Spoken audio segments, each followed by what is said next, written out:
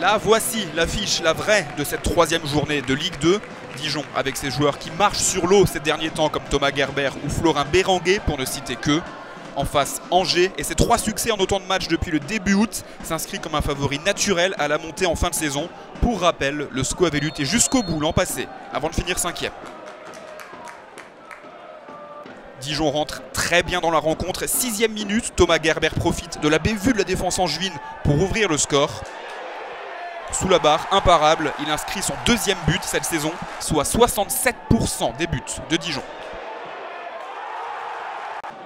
Mais Angers est réputé pour sa ténacité. Dans la foulée ou presque, Charles Diers égalise d'une superbe frappe du pied gauche. Baptiste René est battu. À l'extérieur, Angers reste sur 8 victoires en 20 matchs, résultat très probant. La frappe de Sofiane Bouffal passe juste à côté du but de Baptiste René. Un partout à la mi-temps, match très équilibré, même si le SCO tout doucement prend l'ascendant dans la partie. Ryan Frikesh est à une pointure de chaussure de pousser le ballon.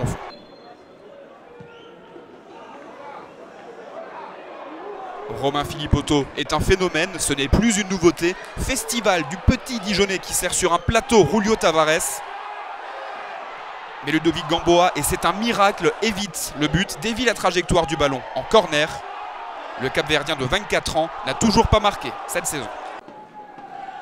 La suite du match se joue sur un coup du sort. Jérémy Blaillac est fauché ou se fauche tout seul, c'est selon, dans la surface de réparation.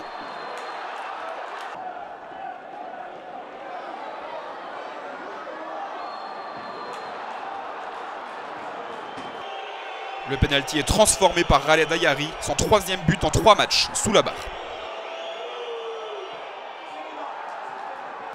Dijon est très dangereux sur corner dans une fin de match où les hommes de Dalloglio partent à l'assaut du but de Maliki. Énorme occasion sauvée sur sa ligne par Vincent Manceau. Puis dans les arrêts de jeu, Angers tue définitivement tout espoir de retour bourguignon. Jérémy Blaillac inscrit son deuxième but de la saison sous les jambes de René.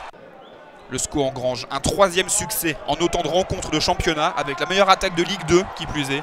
Une affiche qui a tenu ses promesses, un peu comme les Angevins, en somme.